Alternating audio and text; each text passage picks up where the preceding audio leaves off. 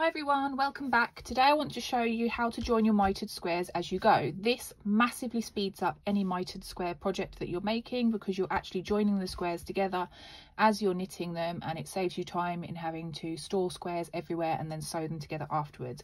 And I also find that it gives you a nice firm join because you're actually knitting them together rather than just sewing them together afterwards. So there's three main squares when you're working in a join as you go that you need to know. You need to know how to join a square to the right hand edge of a base square. You need to know how to join a square to the top edge of your base square and then you need to know your infill squares which is where you join a bottom edge and a right hand edge and knit it all together. Um, this means that your miters will all go in the same direction so you want to avoid joining squares to a left edge and a bottom edge. You want to always make sure that it's to a right edge and a bottom edge so that your miter flows I'm not going to show you how to knit the actual mitre square. I have a separate video for that, so I will link that up in the top here for you to take a look at. But I will show you how to work all three types of joining square. And once you know those, you can make a whole blanket because it's a variation of these three types of squares that you would use. So for this project, you will need yarn. You're going to need your knitting needles of choice, I like to use circular needles, but you can use straight needles if you want, it doesn't matter. You're going to need some scissors and an embroidery needle for sorting out those ends. So without further ado, let's get going. So I'm going to show you how to join the squares as you go in the order that I would normally join them. I like to join first to the right hand side edge and build one there. Then I join onto the top edge build one there and then I've knit a square that fills in the gap. And essentially that's how you would build your squares all the way along your blanket working in diagonal strips because you can't really build one here and here and then join one on there because you want your mitre to be going in the same direction all the time. So it's really easy. Once you've got your cast on edge sorted then you knit the square as you normally would. So I'm not going to show you how to knit the whole square. I'm just going to show you the joining process in the first couple of rows. So I've got my contrasting colour yarn and this particular square is 20 stitches by 20 stitches so when I made it I cast on 40 stitches so we want to do the same again for when we're joining our square so when we are joining to the right hand side edge we want to first of all cast on 19 stitches onto our needles. As I've said before, I use long tail cast on, but you can use whichever method you like.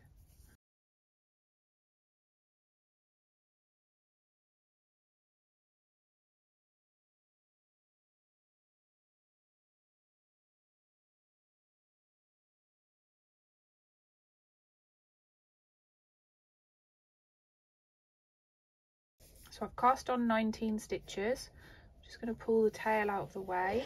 And then I'm going to get my square and I'm going to work into this bottom right hand corner to start with. Now, common sense would tell you that you cast on 20 stitches and pick up 20 stitches.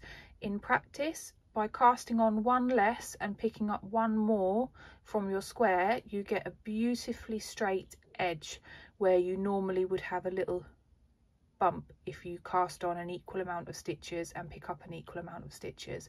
So you cast on one fewer than you are going to pick up. So I'm going to pick up 21 stitches and the bar the places we are picking up the stitches are not these bumps here.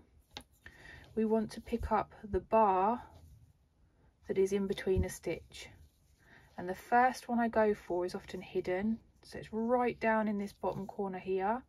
And I'm going to pop my needle in under two bars not one because this corner can end up being a little bit gapey. So with so with your working yarn not your tail pull the tail out of the way we're now going to pick up 21 stitches. And you pick them up by literally pulling a loop through the bar. So that's one two, three,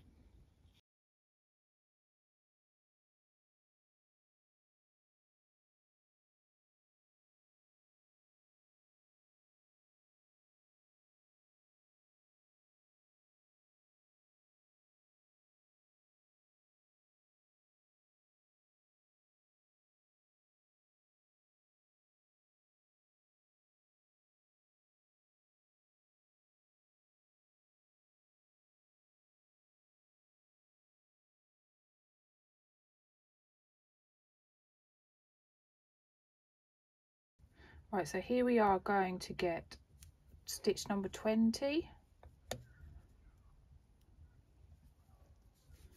And then right from the very top corner, we want to pull one more for stitch number 21.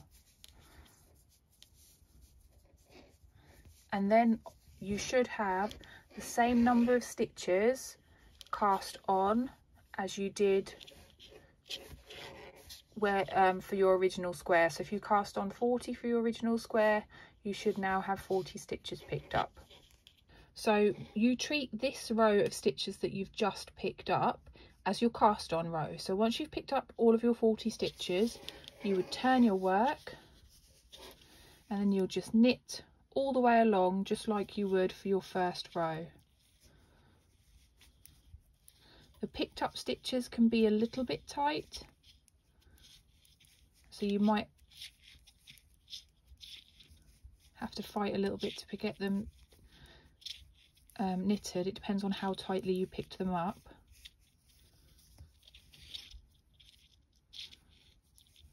But I find that having quite tight pick-up stitches actually works in your favour because you get a neater edge on the join.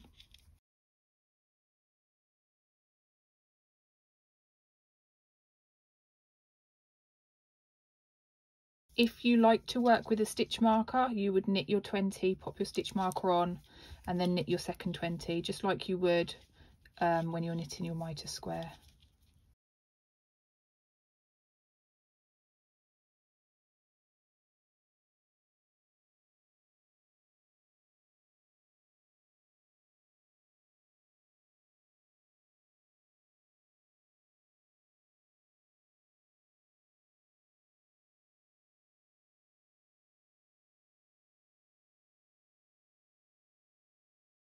So there you can see we've got a pretty seamless join and you would then carry on and work your square all the way to the end um, which I'll go away and do and then I'll show you what it looks like when it's done and I'll then show you how to join this top edge which is virtually the same with a couple of tweaks.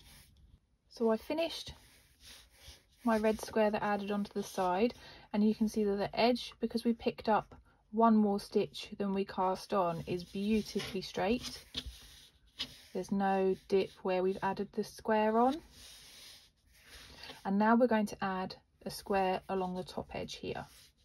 So whereas with this red square we cast on first and then picked up stitches, with the top edge we are going to pick up stitches and then cast on some stitches. So the same premise applies, we want to pick up one more stitch than we cast on. So we want to pick up one more stitch than halfway. So in my case, half would be 20. I want to pick up one more, so I'm going to pick up 21 stitches from this edge. Again, we're picking up these little bars, starting right in this corner here, and you're going to want to pick up two stitches quite close together. So I like to go and pick up my first stitch where I worked my last red stitch, which can be quite tight.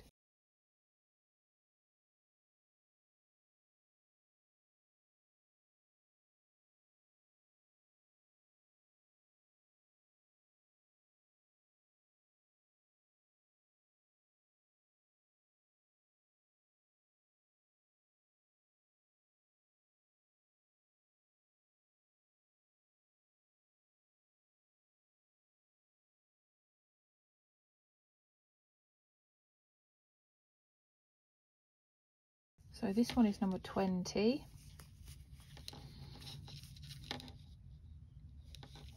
And then what you want to do is you want to pick up another final stitch right from where this little nub is, where your slip knot was when you started your cast on for the blue square.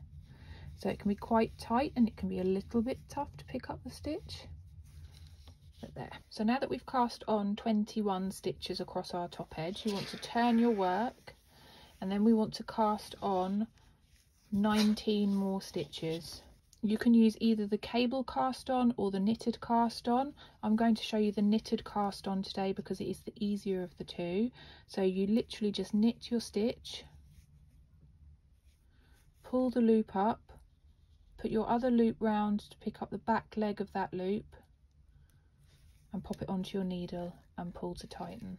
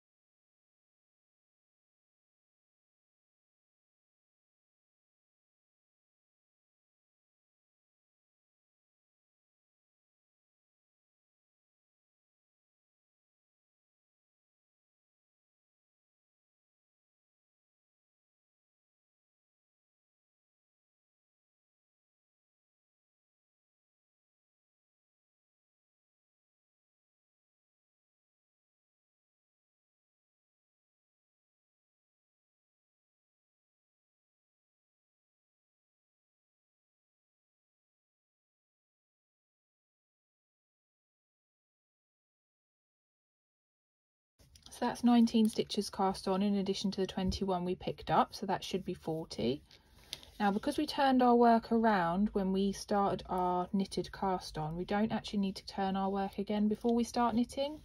So again, you treat this row as your cast on row if you're making a base square and then you just want to knit to this first row and if you like to use a stitch marker for your squares then you would pop a stitch marker after 20 stitches so that you know on your next row where to put your decreases.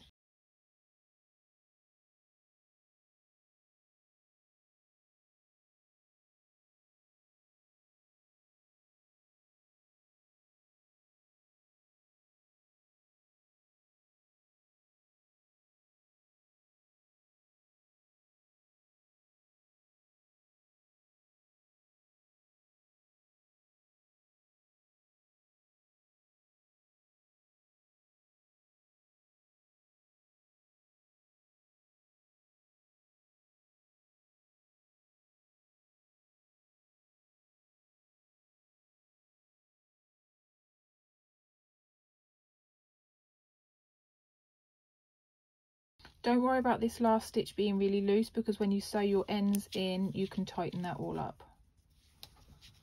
Then you will turn your work and you can see that we have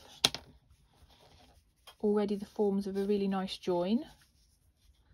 And then you would carry on knitting your mitered square as per your base square because all the the only difference is the way that we pick up the stitches to make sure that it's attached um, to the square below when we're working so we don't have to join it separately later. So I'll go away and knit the rest of this square and so you can see what it looks like when it's done and then I'll talk you through how we join a square that needs to be joined on both the bottom side and the right side. So I finished the pink square and you can see how nice the edge is. I twisted my stitch there, that would normally be neater. Um, but you can see we've got a nice L shape now of our squares. And the last type of square that you would need to join if you're making a blanket like this is the two-sided join. Always it would be a bottom and a right hand side because you want your mitre working up in the same direction. So we're going to pick up 20 stitches along here and 20 stitches along here. And we're going to start in this bottom corner of the L shape that the squares have formed. So the first one you want to pick up should be right in the corner.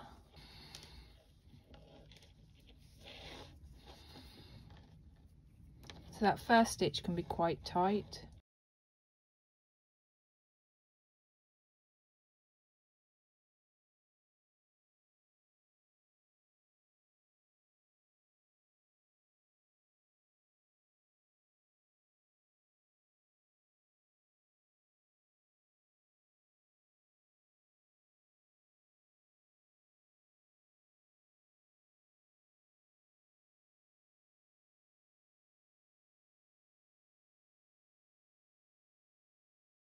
And then the last stitch you work into here where the loops picked up the blue So that's 20 stitches picked up evenly across your square. And then you do the same for the pink square.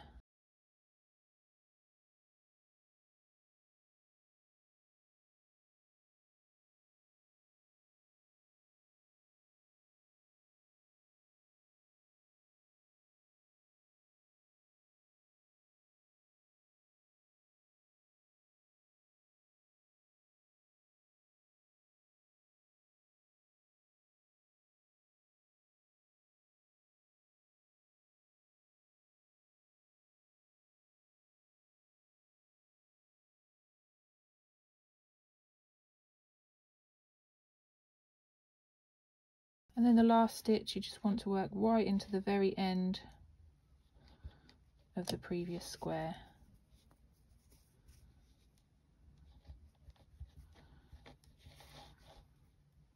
I try and go through a couple of loops on this one because it's the last stitch. It has a habit of loosening if you haven't sewed your ends in when you're joining there. So we've got 40 stitches picked up evenly and you treat this as your cast on row. Then you'll turn your work and carry on and knit all the way across placing your stitch marker after stitch 20 if you like to use a stitch marker. And then you'll find that they come perfectly together as you carry on knitting your mitre square. So I'll go away and finish this off so you can see how it starts to look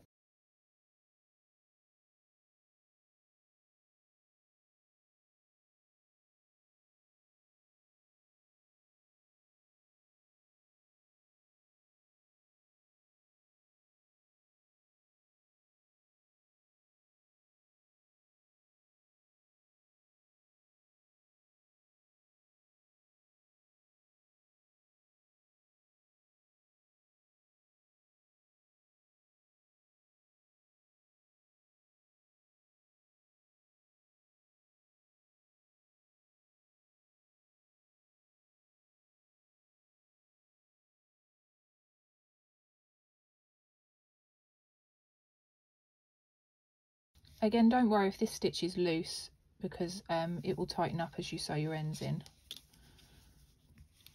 So there you can already see we have our nice picked up stitches. We have it nicely joined and tight in this join here. So I'm going to go away, I'm going to finish off this square and then I'll show you what the finished item looks like. So I finished off the grey square that I was knitting a little while ago and you can see that it's infilled that edge nicely. You can also see that it's self-blocked, so it straightened out these squares that we joined earlier really nicely as well, and you get a really nice neat edge and your mitre flows from one square to another so that when you are have a whole blanket, your joins are going to go all the way lovely diagonal up your project. So they, those are the three squares that you need to know for join as you go mitre squares. You just work a combination of those different types all the way until you've finished your blanket. Hopefully that will speed things up a lot for you when you're knitting your mitered squares. Anyway, I hope that you've enjoyed this tutorial. I hope that you found it handy and I hope that you're going to go away and knit loads of lovely mitered square stash busting blankets. And I'll see you again for another tutorial soon. Take care. Bye.